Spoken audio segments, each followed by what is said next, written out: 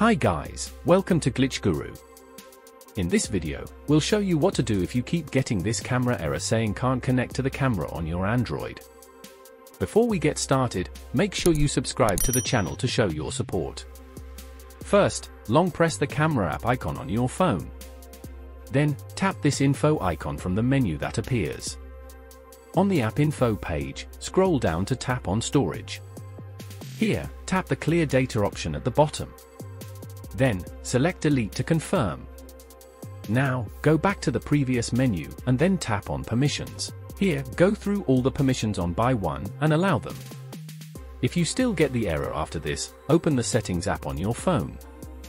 Now, scroll down and tap on apps. Here, tap this three dot icon in the top right corner. Then, select reset app preferences from the list. Now, select reset to confirm. Restart your phone after this and camera error will be resolved. If you have any questions about this topic, feel free to leave them in the comments below. And remember to subscribe to Glitch Guru for more tips like this.